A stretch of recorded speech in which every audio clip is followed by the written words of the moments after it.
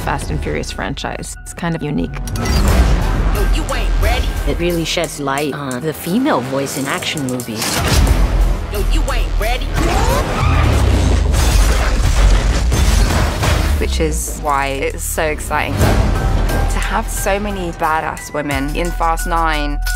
Yo, you ain't ready. All right, Mia, you're up.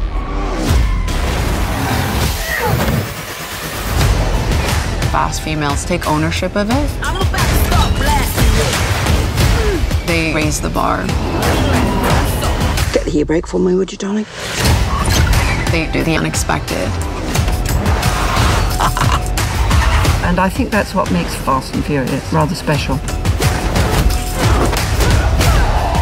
In this movie, we're not holding back.